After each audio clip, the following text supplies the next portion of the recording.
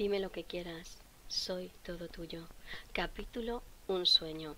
Esa misma noche en que Marta abandonaba la floristería de Lola para volver a casa, Rodrigo tuvo un sueño en el que paseaba por una ciudad desconocida.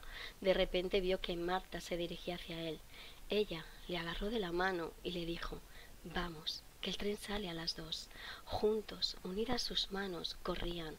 Por un momento pensó en decirle que eran las dos menos cuarto, que no tenían billete y que tampoco sabía lo lejos que estaban de la estación. Cayó, porque ella seguía corriendo, unida a su mano, firme y poderosa.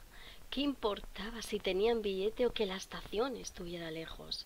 Él lo único que deseaba era seguir corriendo con ella a su lado. Así era feliz. En ese preciso momento se despertó. Recordaba el sueño como si lo hubiera vivido en la realidad. Marta, esa misma mañana, al despertar, recordó vagamente un sueño. En él, sin saber con quién, corría y corría unida a su mano a la de alguien familiar cercano, pero al que no conseguía identificar.